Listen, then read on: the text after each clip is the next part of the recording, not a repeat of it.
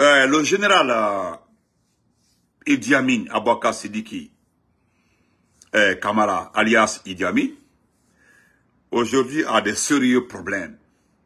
On m'a relaté ce qui se passe, pourquoi le gouvernement retarde. Je ne me réjouis pas de ceux qui font la guerre, parce que eux qui font la guerre à Idi Amin là, entre eux là, si je devais choisir, je choisis zéro, parce que toutes, euh, toutes les trois personnes ne sont pas importantes pour la Guinée. Tout qu'on fait, ils ont fini de détruire le pays. Il y a un problème aujourd'hui entre Idi Amin d'un côté, Amara et Djiba concernant les, anciennes dépenses militaires. Vous savez, le petit trou là, le petit temps de repos là, depuis qu'ils ont dissous le gouvernement jusqu'à aujourd'hui, les secrétaires généraux ont fait le travail de Amara et le travail de Djiba. Tous ceux qui sont recommandés, proposés, nommés par arrêté par ces anciens ministres-là, si ces anciens ministres n'étaient pas, euh, parmi eux, la personne est poste de Amara et Djiba, c'est que la personne a été débarquée de son poste. Nous connaissons pour la présidence de la République. Ils ont enlevé plus de 40 personnes qui étaient liées aux membres du gouvernement. Donc il y a eu des postes creux ils ont fait remplacer par les familles et autres. Ils ont tiré les petits escrocs des autres partis politiques qui les supportaient. On les a nommés à la présidence. Partagez, s'il vous plaît, partagez. Même sur YouTube, là, partagez. Est-ce que vous voyez?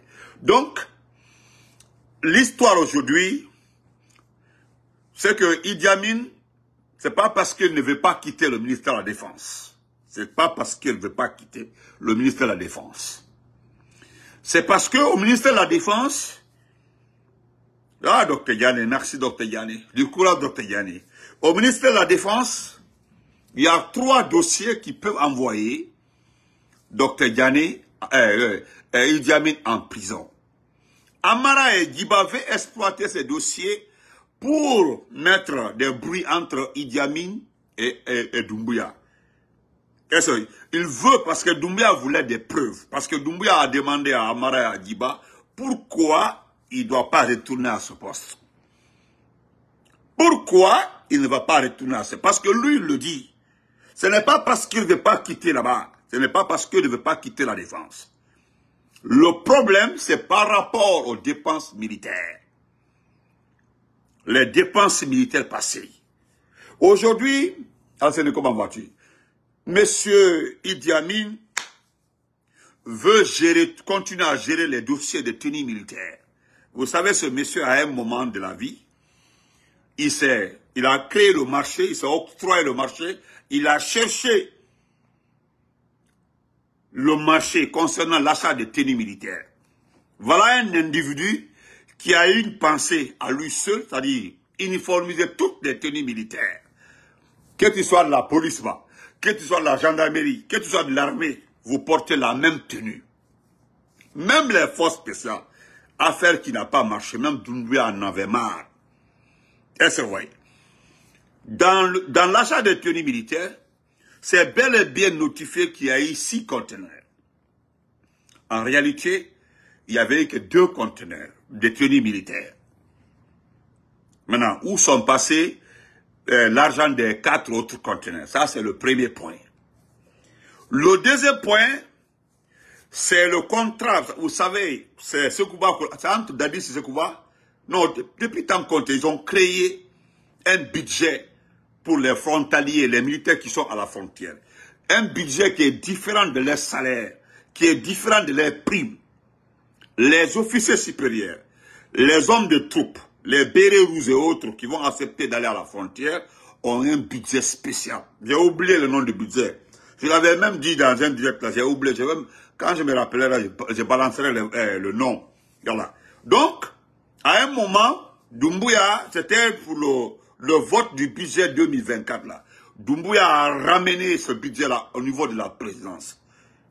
Il a ramené ce budget, il l'a introduit dans le budget priorité du président de la République, dont gère Mme Diaby, Amara et, et. Donc, il y a ce dossier parce qu'au fait, en aucun cas, même par hasard, même par tâtonnement, les frontaliers là, comme disait Sekouba Konaté là, les militaires qui sont à la frontière là, n'ont jamais reçu de l'argent. Donc, ils n'ont jamais bénéficié de ces primes-là. Donc, imaginez deux ans de fonction, deux ans de primes dépensées, deux ans de ce tarot. Imaginez, calculez le budget, l'argent qui devait aller à la frontière, l'argent qu'on appelle le projet d'appui de quoi là? Les frontaliers. Il a utilisé cet argent, il a consommé lui seul. Les autres là veulent créer ces, ces projets-là pour le prendre. Vous savez, Gomu a réussi en ce qui le concernait. Parce que lorsque Gomu quittait le ministère du Commerce, il venait de signer des contrats avec certains commerçants, Gomu. Comme quand il a été proposé au poste de ministre, Premier ministre, qu'est-ce qui s'est passé? Il s'est arrangé pour envoyer sa sœur qui est sa copine, qui est la copine d'Amara aussi, Pritimo, l'a envoyé au ministère du Commerce. C'est elle qui a pu fermer le trou. Et dès qu'elle a fini de fermer le trou, de fermer les dossiers, il a ramené à, euh, on appelle ça, au plan et la coopération internationale. Vous connaissez la suite. Donc, Idi Amin, quelque part, moi je ne vais pas te supporter ici, ni supporter Amara. Mais quelque part là, ce que les autres là n'ont pas bénéficié comme protection, tu ne peux pas être, être, euh, être propriétaire de ça. Parce que celui qu'on veut envoyer à la défense là, n'est pas ton ennemi, selon les informations. Celui qu'on veut ramener à la défense. Parce qu'aujourd'hui, Mourikonde, c'est lui qui est pressenti à ce poste-là. Mais ce n'est pas vrai. Jusqu'à d'autres même, des fausses informations parlent du beau, du beau frère de Doumbouya qui est au SNAP. Au SNAP. Donc, quelque part, ni même Fouyana, parce que le ravitaillement militaire, voilà, le riz du le riz militaire là, au fond, au dossier lui, parce que Doumbouya avait pu gérer ça avant même que tu ne quittes ton poste de ministre de la Défense. Parce que là, celui qui était là-bas, il l'a envoyé en formation et ramené un de ses petits à ce niveau-là. Et le petit là, c'est lui qui t'a insulté, qui manquerait. Malheureusement, le gars là m'a expliqué ce qui s'est passé entre la femme de général Toto, non, la famille de général Toto et lui. Oui, j'ai reçu les explications réelles, ce qui s'est passé entre la famille de général Toto et lui. Ebrahim. Donc, je ne suis pas pour que Amara aujourd'hui et Djiba te persécutent, non. Mais les dossiers sont réels parce qu'Aïbé ou les camps, aujourd'hui, tous ceux qui sont choisis actuellement là, avant la nomination des ministres là, sont de Amara et de Djiba. Monnaie de l'argent. Faut même nous quand ceux qui ont le doctorat et autres là, ceux qui ont compris le jeu de la, du CNRD, ceux qui refusent totalement de jouer le jeu du CNRD, qui savent très bien qu'ils ne pourront rien gagner avec le CNRD. Ils ne pourront rien faire pour ce pays avec le CNRD. Donc, Oulu qui écarte, Oulu qui bouille.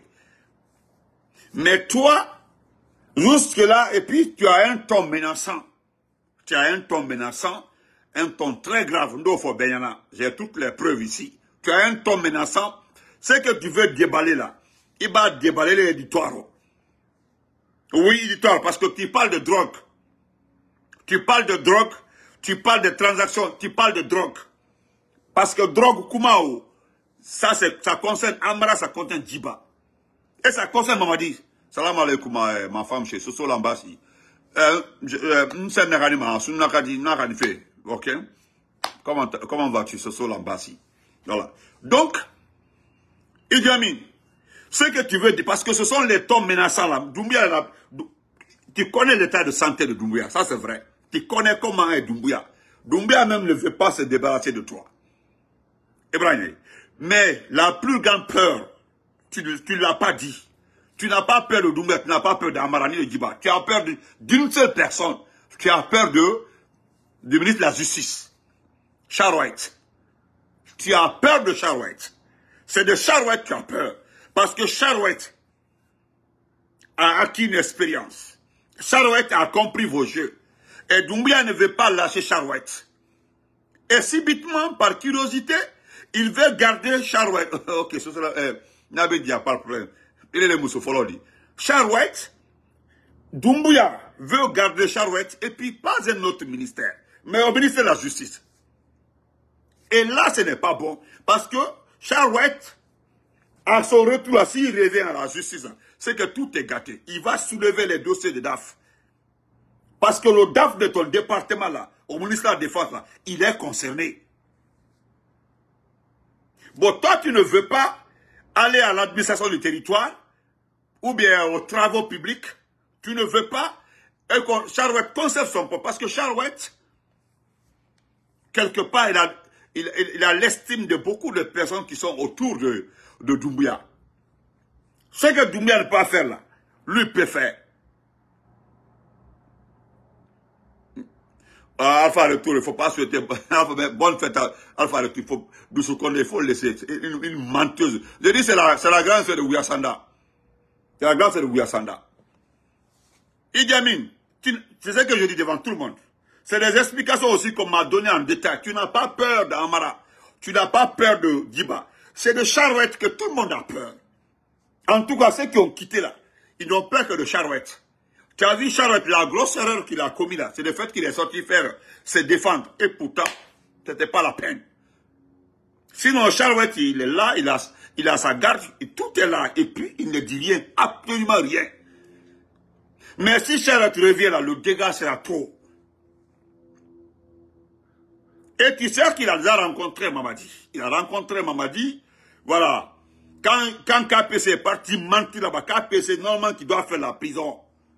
Voilà. Voilà. KPC qui, KPC qui doit, KPC qui, normalement, qui doit faire la prison là. Et lui, à son tour, il a dit, il a dit, mais Charlotte, là, ce qui me plaît en lui, malgré qu'il nous a fait mal il dit à Doumbouya la vérité. Voilà ce qui s'est passé. Voilà comment les choses sont passées. Il a expliqué. Merci beaucoup, frère, pour les étoiles. Merci beaucoup. Il a expliqué à Charouette. il a expliqué à Doumbouya. Donc, Doumbouya lui fait confiance. Et la peur que tu as aujourd'hui là, parce que Charouette l'a dit, hein, il avait dit avant qu'on enlève comme ministre.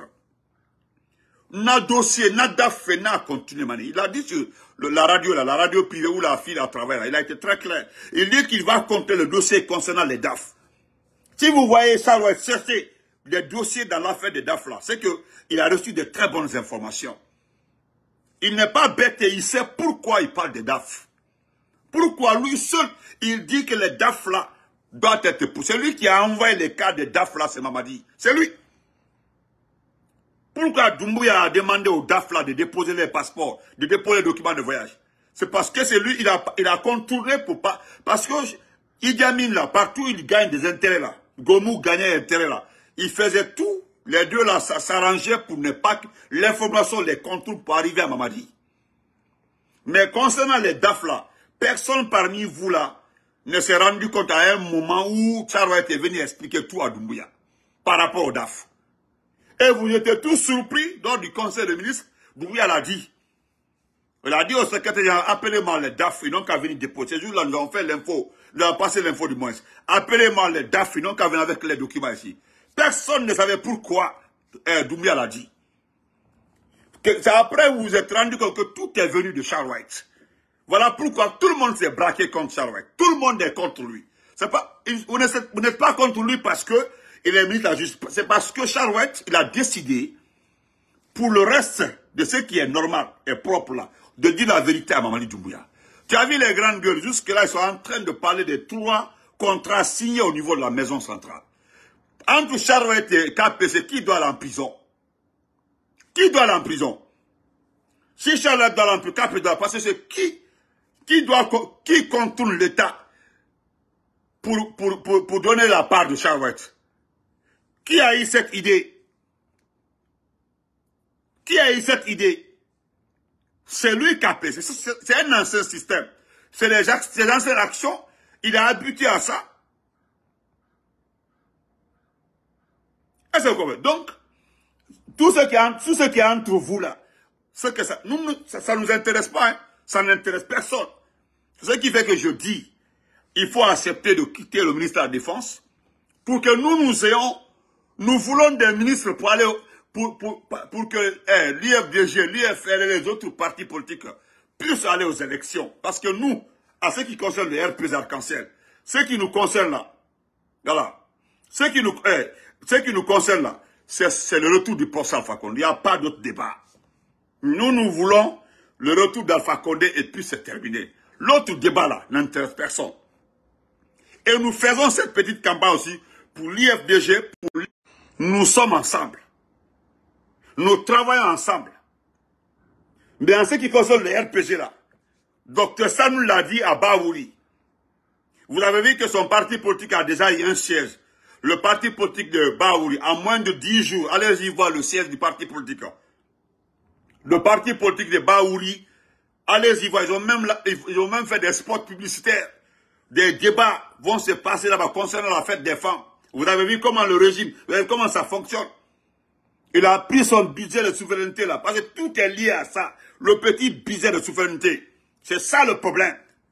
Le petit budget de souveraineté là, il a pris ça là. Ah, lui aussi, il est en train de montrer ses muscles. Voilà des individus qui ont oublié toutes les souffrances, ils se sont braqués là-bas. En ce qui concerne le RP cancer là, c'est le retour d'Alpha Codé.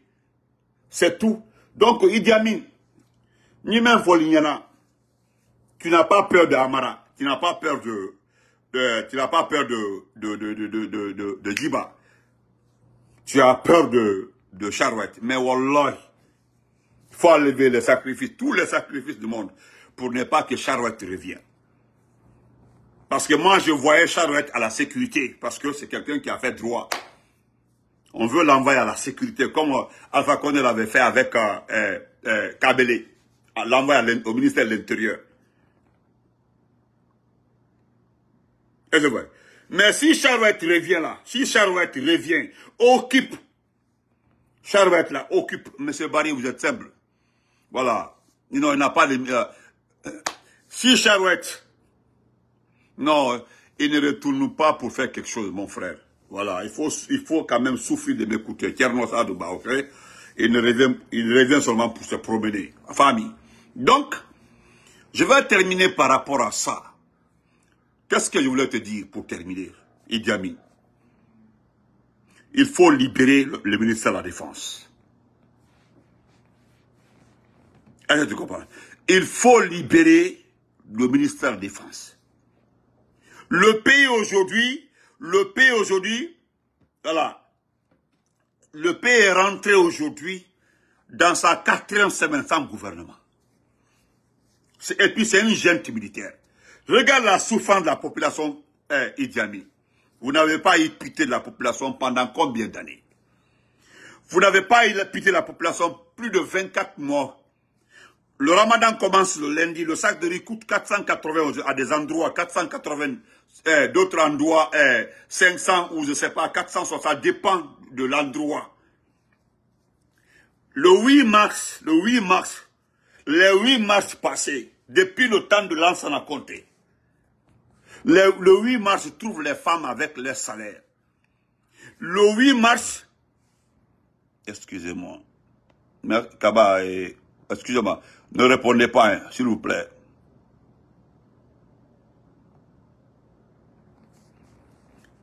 Et voilà, excusez-moi. Le 8 mars, le 8 mars, depuis tant de l'ancien à compter jusqu'à aujourd'hui,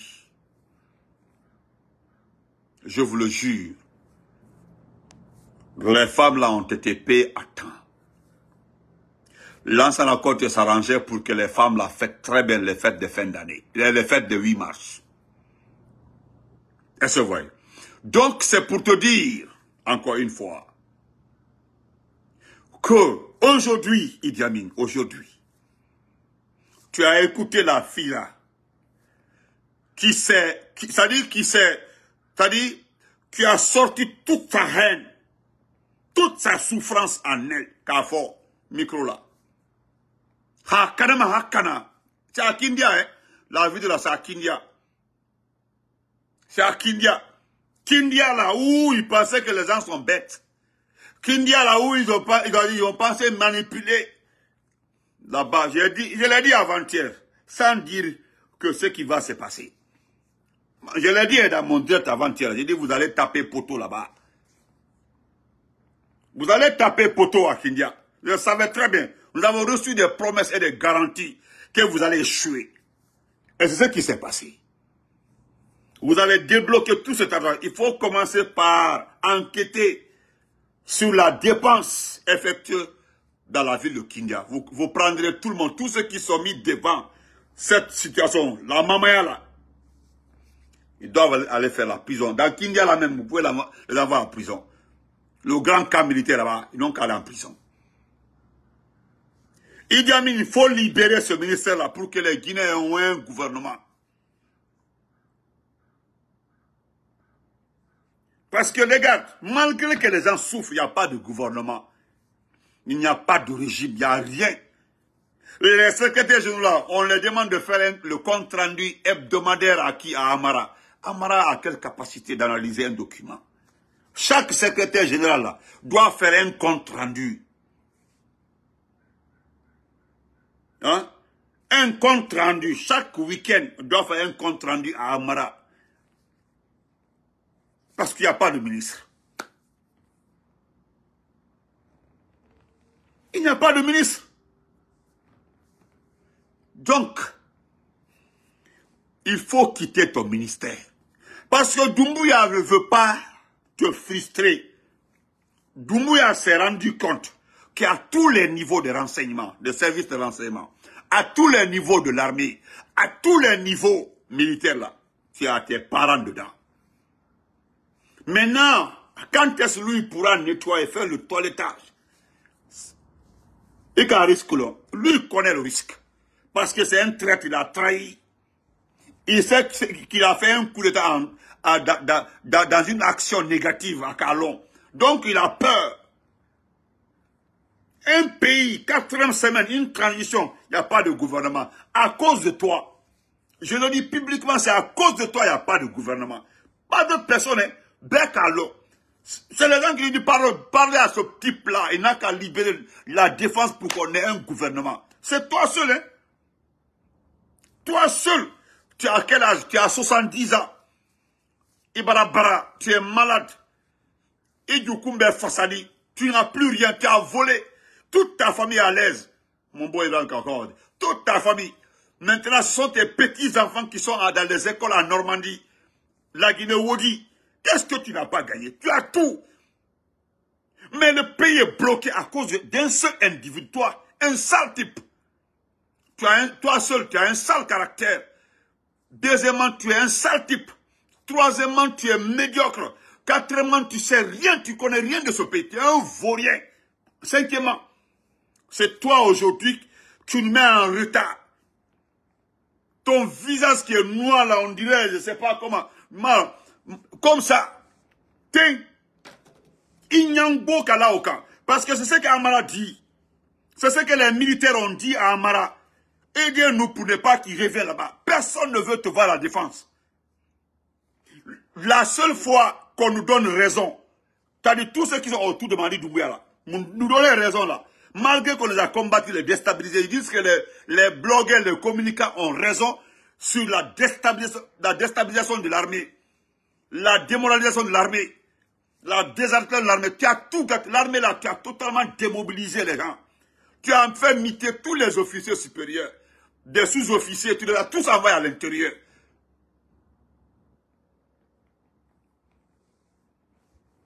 Maintenant, les autres ont besoin. Parce que pourquoi je parle de ça? Il n'y aura ni coup d'État, il n'y pas de... La population ne va pas se soulever comme on m'a dit. La population est à l'aise. Tout va bien en Guinée. Donc, on n'a pas d'autre alternative. Au moins, une vacance comme ça, ou bien des vacances comme ça, des nombres de sous sans gouvernement comme Longtemps, la population s'est levée contre ça. Mais regardez-le. Mais longtemps, les militaires auraient arrangé cette situation-là parce qu'ils peuvent se creux de combien de semaines De deux ou trois semaines à cause d'un individu? À cause de toi seul? Mais nous n'avons pas d'armée. Ça, c'est un, on n'a pas d'armée. Deuxièmement, la population, mais la population, tout va bien en Guinée, les gens sont à l'aise. Sinon,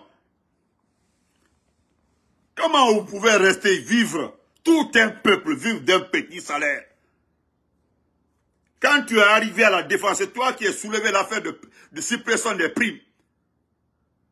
Vous avez supprimé toutes les primes, toi seul.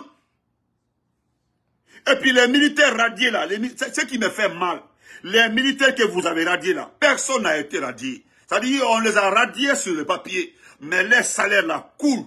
Qui partage les salaires Tu ne veux pas que les autres enquêtent, euh, sur ça. Ils doivent enquêter. C'est toi, avec Yomo, c'est vous qui avez radié les militaires. C'est vous qui avez envoyé les militaires à la retraite. Mais pourquoi vous continuez à prendre le salaire des militaires Vous ne voulez pas que les autres fouillent dans ça.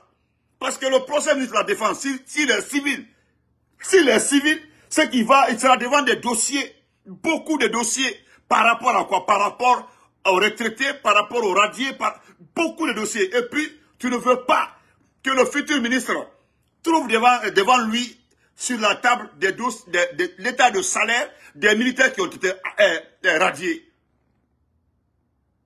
C'est ce que tu ne veux pas. Ça, Malia Kabo. Imagine-toi, moi, je, euh, je viens à la défense. On me montre un état de salaire de plus de 600 militaires. Dans ma tête, que les militaires sont déjà radiés. Et puis on me montre l'état de salaire de ces militaires-là. Mais je vois le montant, c'est des milliards. Qu'est-ce que je me dis? Je calcule automatiquement le temps que toi tu as fait à la défense. Mbaori multiplié non. Vertigelé.